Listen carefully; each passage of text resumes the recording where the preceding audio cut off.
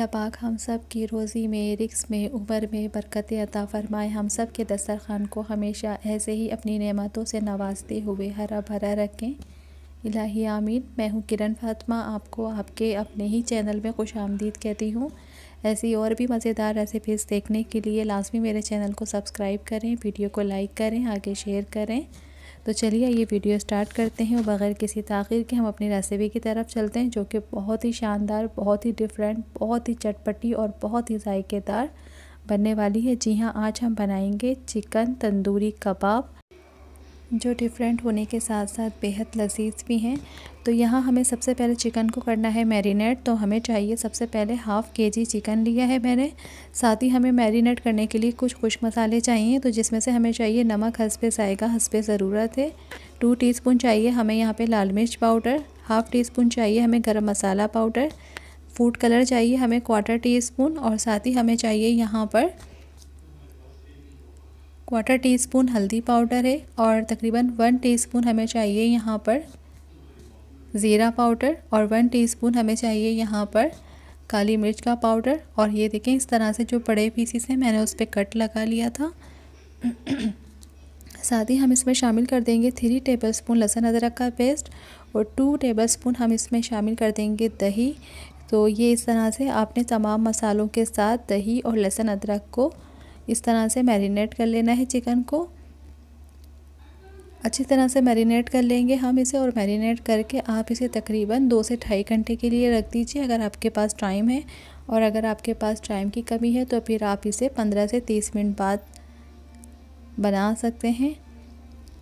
तो यहाँ पर देखें मैं हाथों की मदद से इस तरह से, बहुत अच्छी तरह से तमाम मसालों को इस तरह से लगा लूँगी अपने चिकन के ऊपर। तो बस हम यहाँ पर अपनी चिकन को मैरिनेट करके रख देते हैं, कवर करके।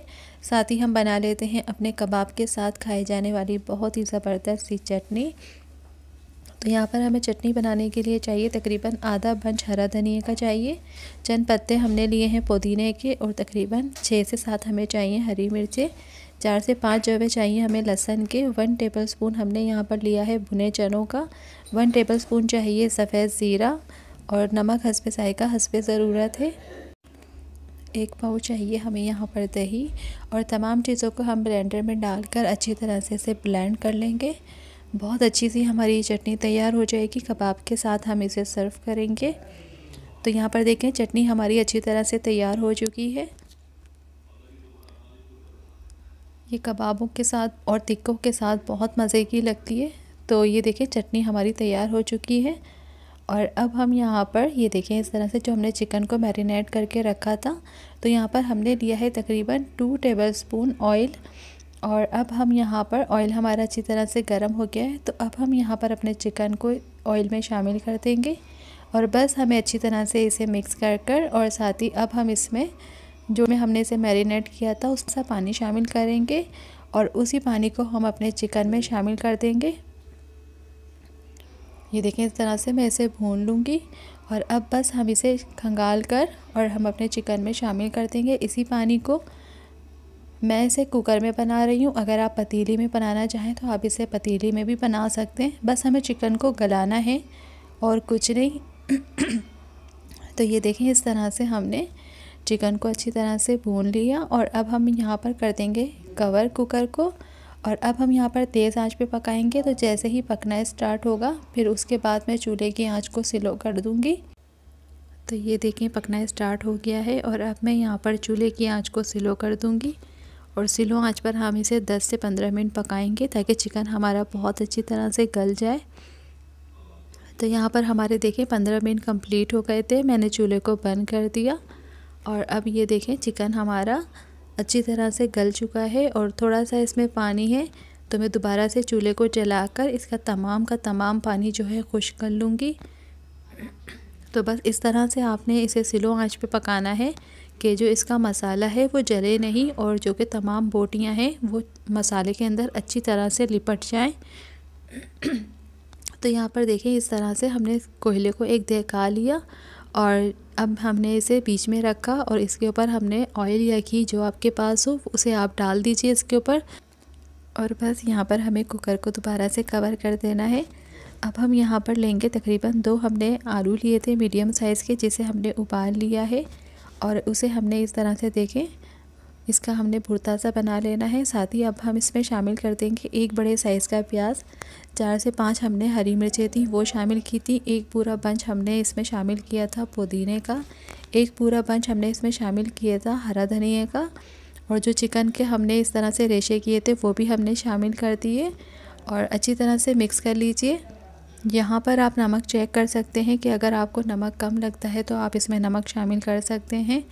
और ये देखिए, इस तरह से हमें इसकी कटलेस बना लेना है। और यहाँ पर हमने एक सिलहरी थी तैयार की थी, जो कि कॉर्नफ्लोर की है। फोर टेबल स्पून मैंने यहाँ पर कॉर्नफ्लोर के लिए थे और इसमें थोड़ा सा पानी शामिल करके इस तरह से देखें, इतनी पतली हमने इसकी सिलेरी सी बना ली थी। और अब हम इसी तरह से तमाम कटलेट्स बना बना कर इसके हमने फ्राई कर लेना है। और अब हम इसमें थोड़ा सा ऑयल शामिल कर देंगे और अच्छी तरह से हम इसे गोल्डन हो जाने तक पकाएँगे।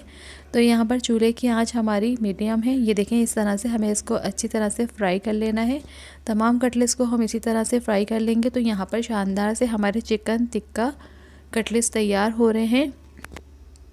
ये इतने डिफरेंट हैं, इतने आसान हैं, इतनी जल्दी बन जाते हैं। जब आप बनाएँगे तो आपको अंदाज़ा होगा कि इसका जायका बेहद लजीज है, बहुत मुनफरद है।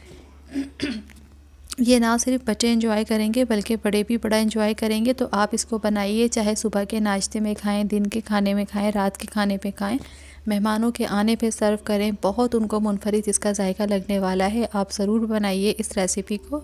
मैंने अपनी पूरी कोशिश की है सिंपल और आसान तरीके से बनाऊँ, और आपको हर वो चीज़ स्टेप बाय स्टेप बताऊँ कि जिसे आप आसानी के साथ कर सकें और आपको कोई प्रॉब्लम ना हो। तो वीडियो अच्छी लगी हो तो लाजमी चैनल को सब्सक्राइब कीजिएगा, आगे शेयर कीजिएगा और लाजमी बेल आइकन प्रेस कीजिएगा। आपके सब्सक्राइब करने से, वीडियो को लाइक करने से, आगे शेयर करने से हमारी बहुत ज़्यादा हौसला अफजाई होती है। तो प्लीज़ वीडियो को लाजमी देख कर चैनल को सब्सक्राइब कीजिए। अच्छा मैंने यहाँ पर कॉर्नफ्लोर की सिलेरी बनाई थी इसे फ्राई करने के लिए। तो अगर आप इसकी सिलेरी नहीं बनाना चाहते तो आप इसे अंडे में डिप कर कर और आप इसे फ्राई कर सकते हैं। बस आपने इसमें दो चुटकी नमक डालना है और तकरीबन एक से दो चुटकी आपने इसमें काली मिर्च को डालकर इसे फेंट लेना है अंडे को। और बस आप उसे डिप कर कर और अच्छी तरह से फ्राई कर लीजिए जब तक कि आपके कबाब गोल्डन नहीं हो जाते।